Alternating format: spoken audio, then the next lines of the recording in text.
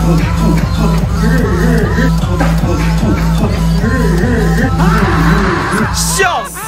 死！张兰模仿巨巨叶刷碟卖床垫，汪小菲带张颖直播完再骂大 S，挺舒服的啊，各占各的窝啊。哦，这么说你也是啊，兰姐。咱们小飞妈张兰兰姐叫卖直播蹭热度蹭出了最高点。你说卖床垫就算了，床垫上还摆满软饭，哎，那格局，格局，格局。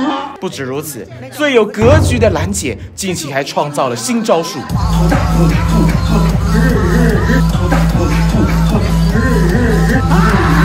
你以为你这个靠你那日日假装那比划比划，兰姐会啊？冲大冲大冲大冲大，日日日，就挣你钱了。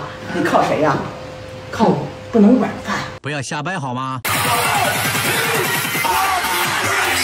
左一句软饭，右一句软饭。小编是真的疑问，到底无理欧巴哪点儿看起来不会挣钱了？不仅如此，咱们广大的中国同胞们还把聚聚夜刷上热搜，只是这热搜项目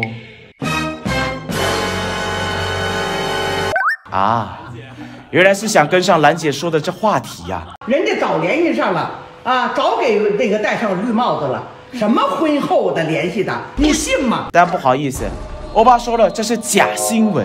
图不仅好好的在 IG 上，欧巴也顺便交代了当时的行程，瞬间让这起乌龙话题画下句点。一点的，他妈哪点做错了？道歉。你疯了吗你？啊？怂蛋包，怂蛋包，怂蛋包。而兰姐的乖乖怂蛋包，把道歉退场文删了之后，二十四日晚上竟又做出惊人举动。好几万人呢，已经。我在呢，我在呢。现在在现在在通话了，不说话。仔细看这被网嘲兰姐猪队友的直播中，那该不会是张颖颖吧？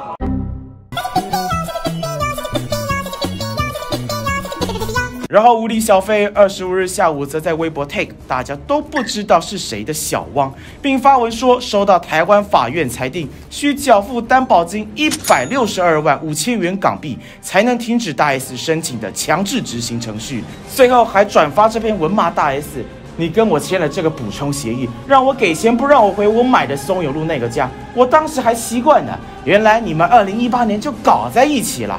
对此，汪小菲在台湾的律师回应中天娱乐时，仅低调表示，目前正准备开庭，不方便回应此事。顺带一提，曾被小飞泡 BB 的小 S 跟老公徐亚军，二十四日还甜蜜帮二女儿丽丽庆生呢。就把我当病猫，老太婆，老太婆，怎么样？我就是在说你，死老太婆。如果你这么宝贝你的儿子，干嘛不买一条狗链，把它拴在家里不就得了？